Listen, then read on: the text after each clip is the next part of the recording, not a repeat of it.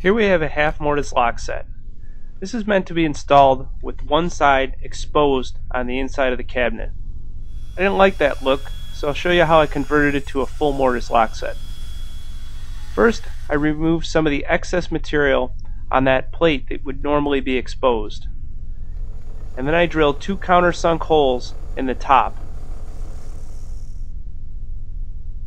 This will allow us to fit the lock set into a full mortise on the front edge of the blanket chest. I'll do this on the router table.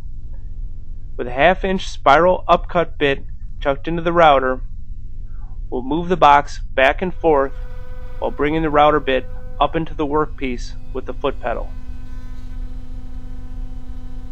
We need a pretty deep mortise, almost 2 inches deep. So this is a pretty stable way to do it. I've added that heavy motor on top just to keep the box steady on the router table. I move the box back and forth and gradually cut the mortise. Here you can see how much bit we have exposed above the table and how deep that mortise had to be for the lock set. Now I need to make a shallow reveal in the top edge of the board to receive the plate on the lock set. I'll do this with a chisel.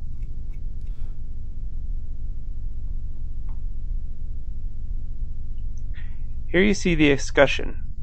It's going to be mounted on the front of the blanket chest. We drill a 3 quarter inch hole and then after the lock set is installed we'll epoxy the escutcheon in place on the front of the blanket chest.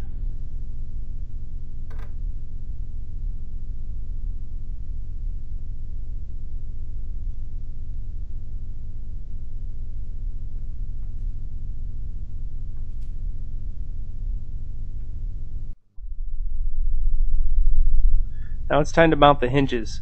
I've just clamped a board on the inside of the blanket chest so that the hinge butts up against it.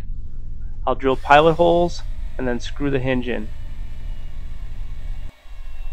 To attach the lid, I've clamped a board along the back side of the chest and I'll use these triangles to hold the lid into position while I secure it with screws. The lid supports are extended in their natural state. So with the lid positioned at 90 degrees, it's easy to mark and drill pilot holes to secure the lid support.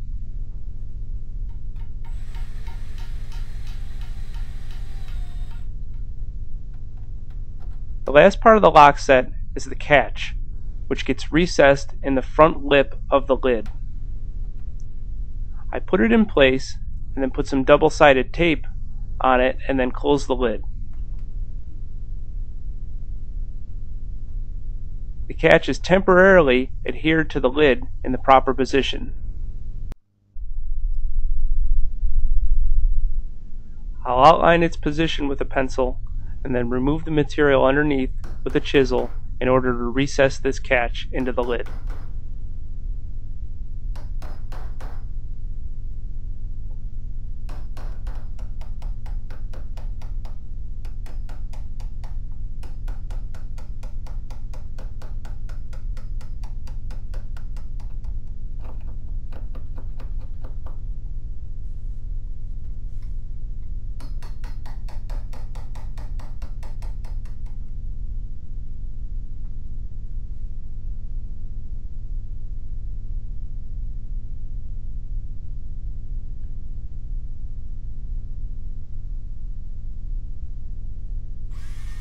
I'll drill pilot holes and secure it with screws.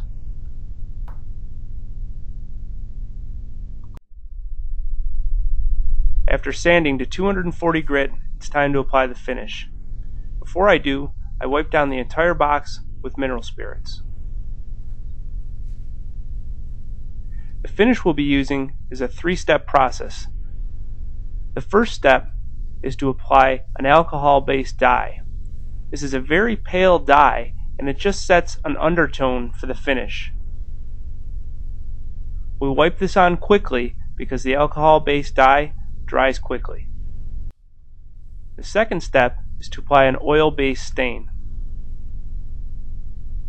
We work this into the grain and then wipe off the excess almost immediately.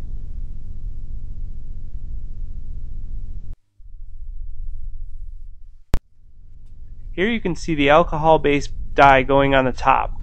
It's really a pale yellow, but it sets a nice warm undertone to the wood. For a top coat, we're going to be using a Wipe-On polyurethane and a satin sheen.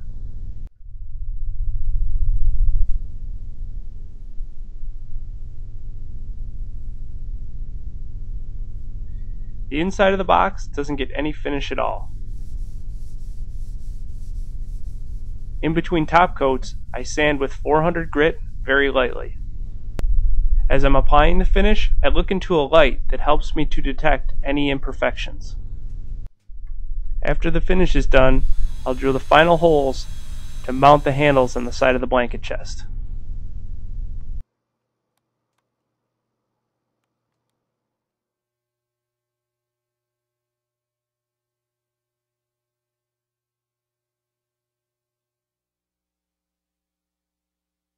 Well, that does it for the blanket chest.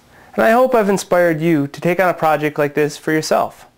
Because in the end, you'll have the satisfaction of knowing you created a To beautiful, view the rest of the videos in this handcrafted, series and videos on well-built other piece of woodworking furniture topics, that will last visit for generations. eaglelakewoodworking.com and click on the videos link.